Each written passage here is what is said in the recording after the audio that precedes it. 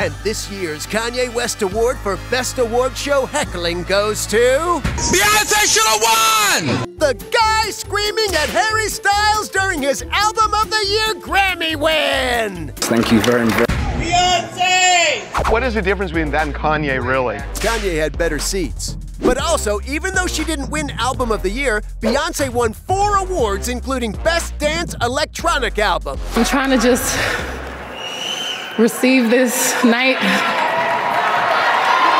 And with that, she replaced conductor Georg Solti as the single most winning artist in Grammy's history with 32 wins. Beyonce should have won! Maybe he was in the bathroom.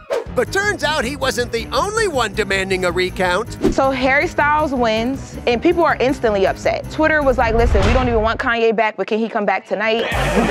the thing that didn't help Harry Styles, though, is when he won, Harry goes, This doesn't happen to people like me very often. Yeah, white guys win lots of Grammys for Album of the Year. Like, like why is it going to be a racial thing? But when Harry Styles said this doesn't happen for people like me, what did y'all think? I know what he means, because he still thinks he's the little guy from the bakery in England. You think Harry Styles was saying it doesn't happen to white people? Oh, yes, I did.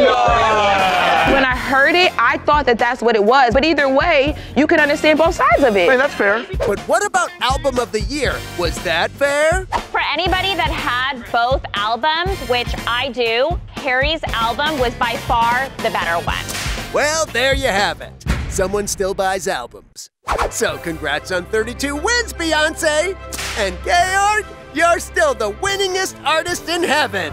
And you've got stiff competition.